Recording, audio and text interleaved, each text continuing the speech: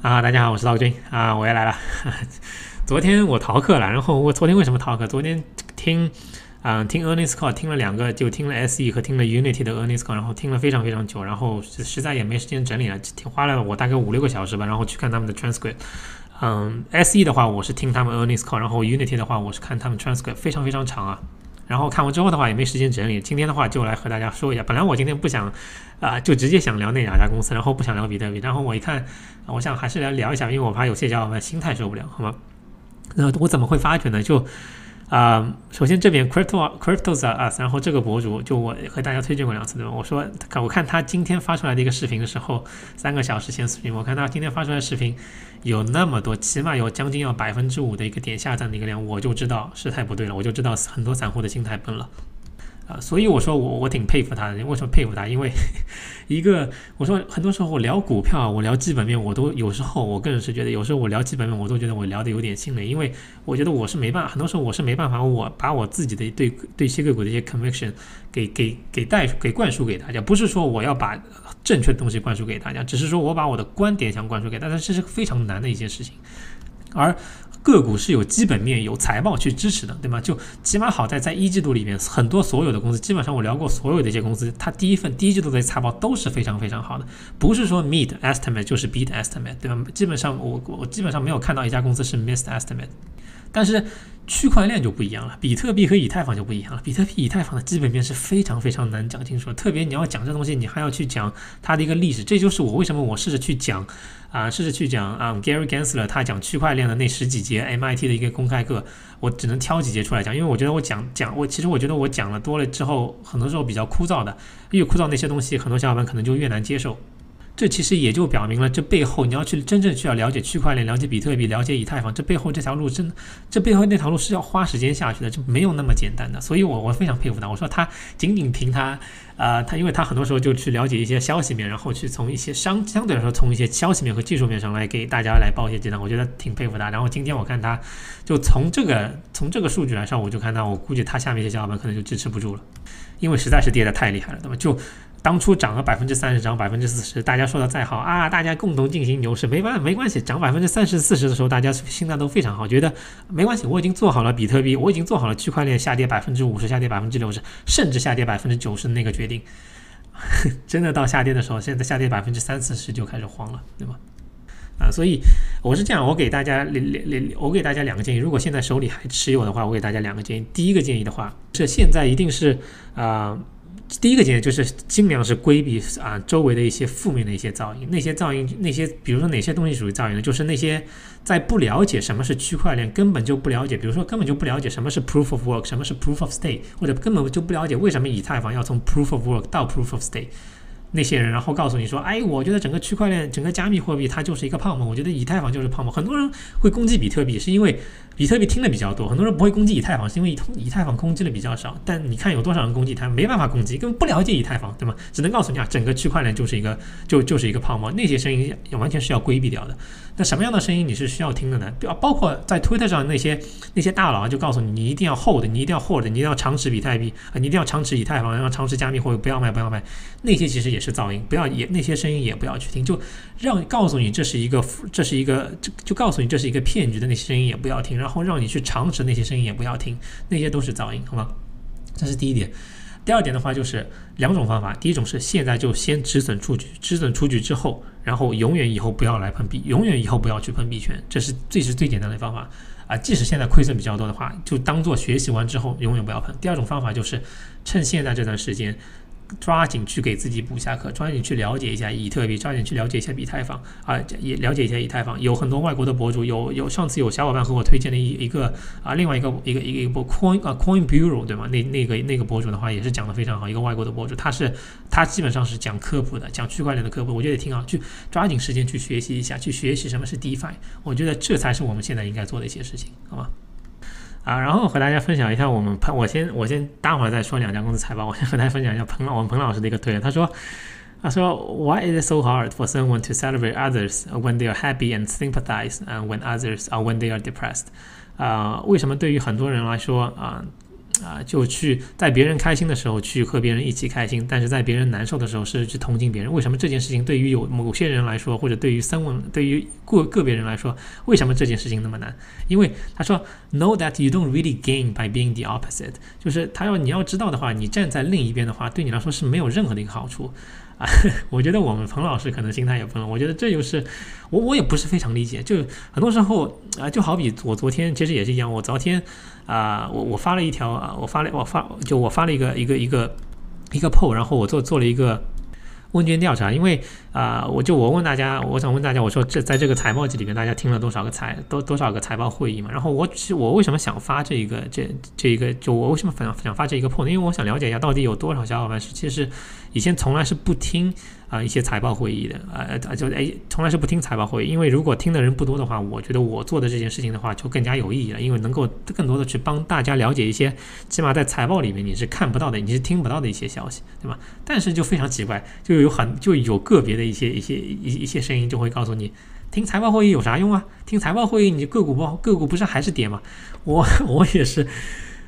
我是难，我难以理解，我真的难以理解。就，哎，有时候我想想也是算了。就我就我这其实我知道，就为什么有一些博主啊会情绪比较低落，因为会会把会会让这些东西会 get to your mind，对吗？就。啊，有时候你说你看到了，你作为每一个作为但凡是一个正常的一个人的话，你看到那些东西或多或少都会影响你的一个心情。但是对于我来说，这些东西会不会影响嘛？是会一点，但是我也有我自己的一个处理方法。一般这些人的话，我就回他一个键盘侠，然后 Have a good day，然后就直接删了，甚至于屏蔽。就那因为那些声音，我 I don't get it，就我我我完全不我我说前段时间我和大家分享过一一个小伙伴，我说他其实和我是持完全是相反的观点，但是我能看出来他是非常非常热心，而且他。他是非常非常担心。我记得一个小伙伴是 PLTR，他的仓位太大了，对吗？我觉得另外一个小伙伴是关心他，他说：“我觉得你 PLTR 仓位太大，然后怎么怎么样？”他说：“涛国军可能也不是什么东西都知道，你要知道他可能只是从彭博上把一些数据整理在一起，你要有自己的一个思考。”我觉得这是这是一种非常好的一个声音，而且这背后是怀着一股善意的一个声音。虽然和我持不同的声音，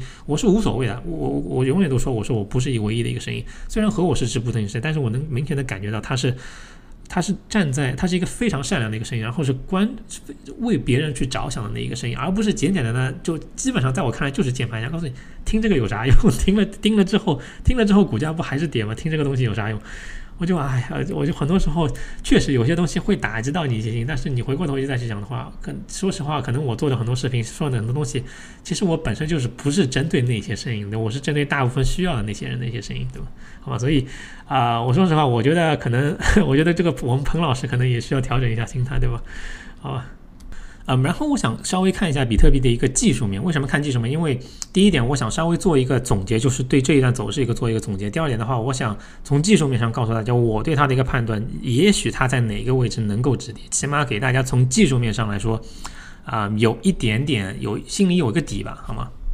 啊，这是我上次的图，这个图我基本上是没有动过。这这是我上一次说比特币的一个技术面我的图。我上次在这个位置，我对它的一个推测是它要进行一个比较大的一个比较大的一个调整的，但是接下去没有进行一个调整。我当初对它这个判断，在这个点的一个判断，其实是从基本上就是从 RSI 和它的一个走势来看的，就是 RSI 和它的一个走势是背离的一个状态，所以我对它的一个判断其实是一个 ABC 的一个状态，而这个 B 量其实是诱高的一个状态。啊，但接下去的一个走势其实是和我预测是相反的，它其实是接下去又继续突破了一个新高，而这个新高其实回过头去看的话，这个新高其实它 RSI 继续破了一个新低，它其实更明显的是一个啊，就是是一个不是量价，是一个量，是一个呃价格和一个动能背离的一个走势。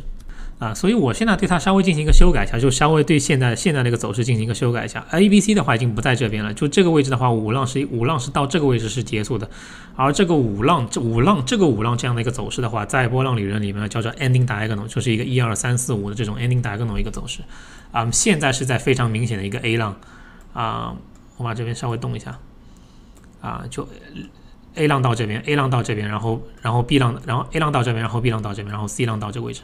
啊，C 浪在这个位置什么时候有可能结束呢？我对它的一个判断是，直接从你直接去拿一个用一个斐波那契的一个啊 retracement，就一个用一个黄金比例的一个一个回调，你去看的话，差不多最低的一个点的话，这一波上来蓝色的一个最这边最低一个点，差不多要在一万块钱之下，九九千啊九千七百九千七百到。啊，九千差不多九千块钱左右吧，就九千块钱左右。然后最高点的话是六万四。这一波回调的话，如果是你去看百分之六十一点八的一个回调的话，差不多是在三万块钱左右。如果你去看零点七八六的一个回调的话，差不多都要差不多就要到两万一左右了，好吗？啊，我不是说三万块钱其实已经到过的，我不是说它一定会到两万亿。但是如果说你现在还拿着的，然后你对技术面有你如果你对基本面又不了解的，那从技从技术面上我给你看的话，你起码要有一个底，说不定。不是说跌到，如果跌到两万亿，不说跌到两万亿，它就是一个底了。也许它再跌到两万亿，你能不能承受呢？所以回到我前面给大家两个建议：一是先规避现在的一个噪音；第二点的话，啊，第二就第二点的话，你自现在有两个选择：一个就现在马上止损出局，永远不要再碰币圈；第二个的话，抓紧时间去给自己补一下课，好吗？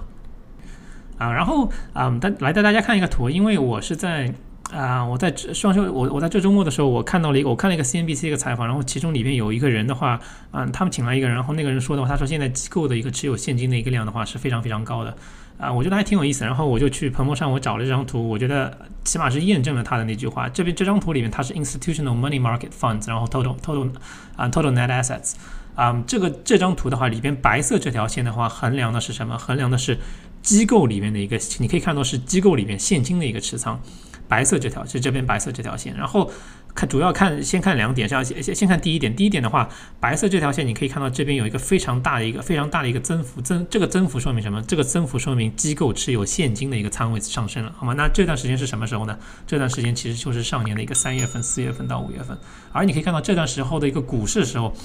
股市是在下跌的，然后它的一个现金的增幅是在上升的，这是 make sense 的，对吗？这从逻辑上来说来讲得通，因为股市在下跌的时候，很多机构选择出跑，选或者选择逃跑，然后啊，逃跑的话，它什么地方也没有去，它只是把现金放在旁放放在边上，买的是 money market，对吗？然后。啊，但你看到什么时候它是开始下跌的呢？它开始下跌的时候，并不是股市在低点的时候，它开始下跌的时候，下这条白色的线开始下跌，说明什么？说明这个钱又重新又回来了，又回到股市了，对吗？它重新开始下跌的时候，其实是从这一条线返回去了一段时间，就从股市返回去的那一段时间之后，整个市场觉得，哦，是不是我们已经见底了？它是相对来说是有一个比较明显的一个见底，可以这么说，有一个比较明显的一个见底的一个信号之后的话。市场上的一个资金或者机构的一个资金才是比较，特别是这边 institutional，这基本上就是一些对冲基金、一些量化基金，啊，特别是对于那些基金来说的话，他们比较 comfortable 的时候，比较舒适的时候，然后那些基金才继续再再回来。啊，所以你可以看到，然后，然后这是第一点，然后第二点的话，你可以看到，现在这一段时间，基本上从今年的一月份，从今从今二零二一年一月份开始的话，这一条数，这条白色的线话，白色的线又开始抬头了，又开始抬头，说明什么？说明整个资金确实是从股市里面流出来了，这也是比较好的，而且一直在上升的，基本上马上就要上升到今年啊上一年五月份的一个最高点了，就机构持有现金量的一个最高点了，这也是比较好的一个解释。你可以看到，基本上这段时间虽然那只是那只是。前破了新破了新高了，但是以以非常弱的一个量破了新高，包括啊包括啊标普五百也好，道指也好，基本上都是在缩量上涨的，这也是比较好的解释了。虽然动能就所以我们说的一个动能不够，或者我们说的一个成交量不够，很多成交量很很多一些资金其实在这个位置啊，因为整个市场不是非常确定嘛，所以啊整很多资金的话确实是啊我们说 on the sideline 就是确实是在啊现金仓位里边。啊，我个人是觉得，总的来说还是对通胀通胀这个问题并不是非常确定嘛，或者对整个市场的一个信号不是非常确定。因为我说实话，即使即使我们整个市场再怎么去争吵，再怎么去 argue，哎，一部分人说就是通胀是短暂的，然后一部分人说通胀可能是长持的，一部分人可能在中间中间，对吗？不到他最后一些数据，不到两三个月之后，很多数据下来之后的话，没人是没没人有这个答案的，对吗？而且包括我看了一下，我昨天还看了一条推特上说，五月中旬的一个数据的话，二手车的一个。价格又涨了非常非常高了，那估计五月份的一个数据会非常非常难看。就这个通胀的话，基本上我我基本上就可以做这个做这个预测了。六月份新闻出来的时候，它可以它会告诉你五月份的五月份的通胀是过去二十年来的一个最高，好吗？Twenty years high。啊，所以我个人的判断是，这条白色的线，这条白色的这条线的话，就是机构的一个现金仓位的话，也许会继续往上攀升，说不定过了过了上年五月份都是有可能的。啊，直到什么时候市场再会重拾信心呢？就基本上这个靴子一定要落下。即即使我们现在，即使或多或少，我说现在这个市场，起码从利率这个市场来说的话，已经或多或少已经反映了通胀的一个压力在那边的话，但是这个靴子不落定的话，或者美联储的这个政策不落，即使你说我说加息。啊，加息和减少购债规模，这是必定要，这是一定要去的一个路。这不是说加息一定整个市场就完蛋了，可以参照，可以参照二零一八年美联储刚开始加两次息是没有任何问题的，整个市场还是非常好的在运作，直到他们一直加加加，二零一八年加了加，直直到加到二零一八年年底十二月份的时候，整个市场才像吐血一样吐血了。所以，啊，既然既然经济是向好的，加息是一条必然的路，所以。一定要等这个，可能一定要等这个靴子落下来之后的话，整个市场才可以才会，因为有一个不确定性变成确定了，比比如确定了之后，那整个市场可能才会有一个比较好的一个反应，好吗？啊，然后就来看一下 S E 的财报，我主要挑几点出来吧，我挑几点比较，我个人觉得比较好的几点，然后和我对它的一些 concern，然后和大家分享。今天我 Unity 我就不说了，然后 Unity 我放到下星期，我抽一点和大家说，做是做完，就啊内容我是整理完，但我估计这个今天说再说 Unity 的话，今天这个视频要非常非常长了，好吗？啊，先就先来看，先来看呃呃 C，先来看 C Limited，啊，首先。C 的话是这点，第一点我想说一点啊，相对来说算是比较好的是它这边的月活数。首先看一下这边，我看的是啊，Digital Entertainment 是它的一个大哥，就最赚钱的一个大哥，就是啊游戏产业。然后游戏产业的话，它的一个月活数的一个增长的话，从基数就从我我基本上我是看 Quarter over Quarter 的，我很少去看 Year over Year。就虽然它比的时候是比 Year over Year，但是你比 Year over Year 的话，你知道上一年一季度的一个数据比较低。对吧？所以造成它的一个增长比较快。那你去看它那个绝对值的话，啊，其实还是 OK 的。就四季度从四季度到一季度的一个增长和上一年三季度到四季度的增长，这个绝对值的一个增长其实还是 OK 的。这是一点，月活数的增长是 OK 的。但是啊，月支付人数的话，就 Quarterly Paying User 的话，这个速率是开始下降了，就就开始向下了。三季度从三季度到四季度时候增长了差不多有。啊，七百万，差不多有八百万不到一点的人。然后啊，四一啊四季度到一季度的话，就只有增长了六七百万人啊。所以活跃人数的一个增长 OK，那是活跃支付人数、活跃支付的一个用户的话，它的增速的话是在放缓了，好吗？啊，特别还有一点就是 S E 的话，最重要的一点啊，其实它是它，我觉得 S E 这个财报里边，它最重要的、最最难的一点，实际是它二季度的一个财报，因为你要知道，二零二零年的一个二季度的一个绝对值是相对来说是比较大的，因为基本上是疫情之后的一个第一，他们是受益的一个第一个季度是二零二零年的二季度，对吧？所以今年的二零二一年的一个二季度数据出来之后的话，会是一个比较大的一个调整，因为这个基数都已经比较高了，对吧？你可以看到，好，从从它的一个 quarterly，从它一个啊。季活数对吗？这是季活数，季活数和它的一个每个季度的一个一个 paying user 的话，付费用户的话，这个基数都是比较大的啊，所以整个对他们财报来说，二季度是一个非常大的一个挑战啊。然后看他们的 e-commerce，啊，e-commerce 也是一样的，对吧？你别看它这个 gross orders，它就所有一个订单量的话，它确实是年年季度增长是一五三，但是你可以看到，你看 quarter over quarter 的话，季度 over 季度比季度的话，实际上它它只增长了一个零点一个 billion。啊，还是一样的道理。你看它二零二零一个二季度的话是零点六个 billion，零点六个倍率。然后你可以看到，到今年的一个二季度财报出来的时候，也许如果还是按照这个绝对值的一个数值去增长的话，Shopee 的一个增长的话，可能就只有百分之一百了，好吗？这二季度是一个非常大的一个调整，就这个增速的话是明显的一个放缓了。包括它的 GMV 的一个增速的话，也是同样的一个道理。你看它 quarter over quarter 的话也是放缓了。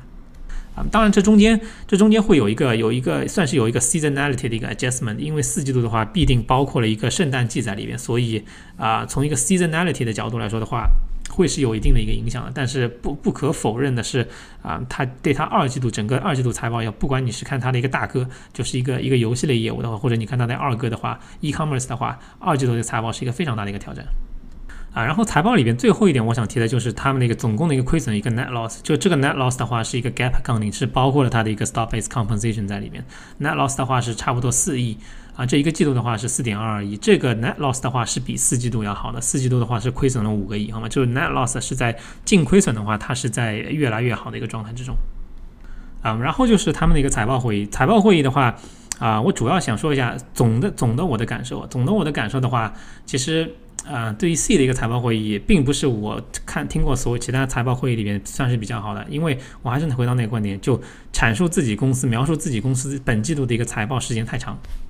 一个财报会议一共一个小，基本上所有财报会基本上都是一个小时，但是你花，它 C 也是一样的，你花了半个小时、二十五分钟到半个小时在聊自己公司这一季度做的有多好，没用啊！你很你聊那么多干嘛？很多东西全部已经是在财报里边的。你更重要的，我更希望的是他们花更多的时间去 take 一些 question，或者或者去接受一些问题，接受一些采访，这是第一点。然后第二点的话。啊，Forest Lee 他们这仨 CEO 的话，他基本上在财报里面回答安回答他们回就回答一些华尔街的一些 analyst 的一些问题的话，他是从来不回答的，基本上都是他们的 CFO 在那边回答。啊，这点的话其实并不是一个加分的一个项，但是你要说扣多少分呢？可能每个人心里有有有个有一个不同的一个秤，好吗？这是对他们总体的一个看法，然后我对他们总体 N earnings call 的一个一个财报会议的我的看法。然后整个财报会议里面的话，我主要想提两点，我觉得比较重要的，然后和大家分享。第一点就是很多人可能会关心的，他们一个呃 Free Fire 就是他们游戏业务的一个寿命。然后有人问了，他说。啊，问他们有 analyst 问他们，他说你觉得现在 Free Fire 在它整个的一个生命周期里面处于哪一个阶段？然后他们的一个回答，C 的一个回答是，他们仍然觉得现在 Free Fire 这个游戏的话是处于一个 early stage，是处于一个初步的一个阶段。嗯，这一点的话，我不知道我是不是能认同啊，因为啊，确实你从你从他们的一个季度活跃数来说的话，他们季度活跃，我前面是说了，我说季度活跃数的一个增长是 OK 的，但是它的一个季度付费人数的话，它的一个增长是明显开始放缓的。虽然我并不期待，我我。不可能对吧？我虽然我并不期待 C C Limited 他们每年都以百分之一百五的一个成长速度去成长，这是不可能的，因为你一旦这个技术越来越高之后，你的成长的一个速率是一定会下来的。但是我希望它的一个绝对值能哎能就每个季度和季度之间的一个增长的一个绝对值还是能保持一个高增速增长起码是一个匀速的一个增长的话，我觉得也是一个比较好的信号。但是但是你从他们的一个付费季度活跃人数来看的话，确实那个人数是比四季度的一个增长是要放缓的，好吧？所以但是管理层的话仍然认为。啊，Free Fire 这款游戏的话，仍然是在 early stage，反正这是管理层给出来的一个指引，好吗？这是第一点。然后第二点的话，有非常整个整个 call 里面啊，有非常非常多的人去问他们能不能告诉我们一下啊，巴西巴西的业务，巴西的一个 shopping 的一个业务。我知道我知道为什么很多很就很多 analyst 想问这个问题，因为他们想把啊，他们想把 C 或者想把 Shopee 的话去和 Mercado Libre 去和就 ME 去和美丽这家公司去比嘛啊。但是很可惜，管理层一直没有松口，这不是一直没有，我就他一直没有去 break it down，就他一直没有告诉你哪个 region 比较好，是东南亚比较好，还是说台湾比较好，或者说啊，还是整个巴西比较好？他们一直给出了一个信息，他就说啊，包括有人问他，他说能不能能不能告诉我们一个啊，就巴西的一个 EBITDA，EBITDA 的话比较差嘛？啊，然后啊，他们反正管理层的 C F，他就说，他说现在的话仍然是太早了，告诉你太太早了，把这些国家或者把 local market 全部给分分，全部给分开区域去看他们消费的一个增长。啊，你可以看到后面还有人问，他说 risk，呃他说有在拉丁美洲的话有有哪些风险嘛？然后他还是说，他说 too early to talk about Brazil。他说：“如果，而且他说，如果我们连巴西都不能谈的话，那其他的一些国家的话，啊，我们就更没办法去和大家去和大家来分享了。就是反正在管理整个管理层的一个角度，就是我们现在无可奉告，就是可能是一个秘密，我也不知道。我 可能就是他们觉得可能这个市场还没有成熟，或者整个 Shopee 在巴西业务这一块的话还没有站稳脚跟，所以他们不愿意去透露里面的一些数据吧。啊，我个人的角度，我说实话，对我来说，我不觉得这是一个非常好的一个信号。我我而且我反而觉得。啊，这是一个。中性偏下的一个信号，为什么？我是怎么去觉得？就啊，我我不去揣测管理层背后为什么不愿意透露巴西的一个消息，这说不定是巴西的一个数据太好，他们也许以后透露出来的话给你一个 surprise，对吧？或者说，说不定巴西的一个数据啊见不得人，也不他就不放出来也，或者他不 separately disclose，这这背后我不去猜测他们，我不去揣测他们的一个意图。当然，我想说，为什么我觉得它是一个中等偏下的一个消息呢？因为我你能明显的感觉到有非常多华尔街的一个 analyst，他们非常关心，有很。很多人去针对这个问题去问。问管理层，而最后管理层没有给出一个答案，或者他们不愿意给出一个答案。这个相对来说，因为从你接收消息的一个程度来说，这不是一个好消息，对吗？因为你像如果有大家非常好奇这一块的话，因为我们都说啊，肖皮的话进入啊 C 的 C Limited 的话进入巴西业务，进入进入拉丁美洲业务，C 的话以后也许在拉丁美洲的话也会也许也许也可以和 Mercado Libre 的话齐头并进，这些都是大家的一个幻想。但是我们需要看到实际的一个数据，而且这也是非常多的 analyst，包括我自己，我其实。也非常想知道 C 在拉丁美洲，特别是在巴西，他们的一个业务发展的到底如何。但是现在看不到这个数据，所以所以从你期望和最后给出来一个答案中间是有个落差。从这一个角度你去看的话，我觉得这个消息其实相对来说是中等偏下的，好吗？啊，然后总体来说的话，整个财报总体来说的话是 OK 的，整个整个财报总体来说是 OK 的，成长的话也是 OK 的。我说对于 C 来说的话，他们最大的一个挑战是在二季度，我不知道整个市场对于二季度对于二季度的一个一个一个预期在哪儿。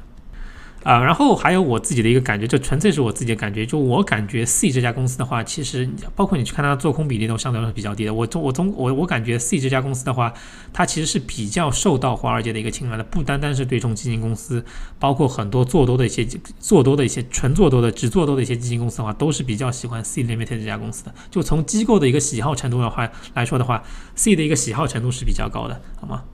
那这期视频就到这边吧。如果大家还有问题的话，可以在下面给我留言，好吗？明天再见。